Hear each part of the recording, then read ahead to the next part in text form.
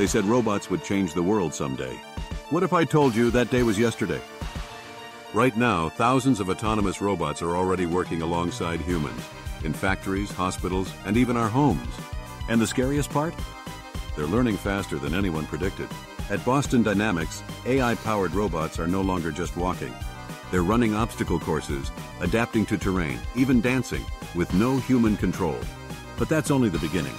In Tesla's gigafactories, humanoid robots like Optimus are replacing assembly line workers.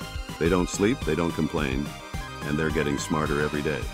The line between human skill and robotic precision is blurring permanently. It's not just machines doing heavy lifting anymore. In hospitals, AI powered surgical robots are assisting with life saving operations, hands steadier than any human could ever be. In Japan, robotic caregivers are tending to the elderly, learning their habits, emotions, and fears. Every interaction feeds back into massive neural networks, making each robot sharper, more empathetic, more human. These aren't cold metal servants, they're becoming extensions of us.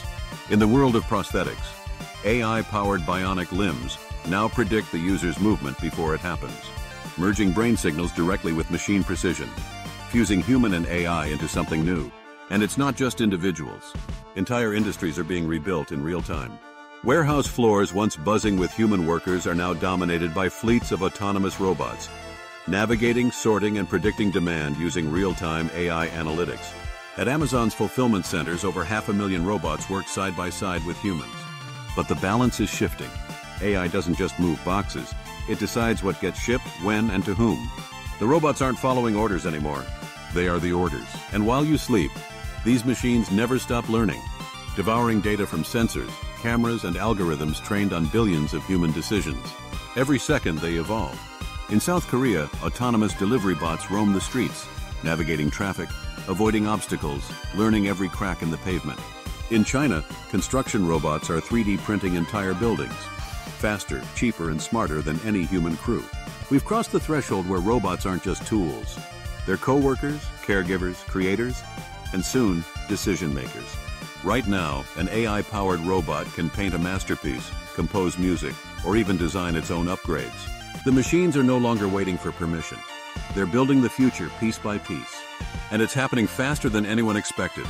By 2030, experts predict over 20 million AI-powered robots will join the global workforce. Not as mindless machines, but as autonomous partners, thinking, predicting, and acting alongside us. The question isn't whether robots will take over jobs. The real question is, will we even notice when they do?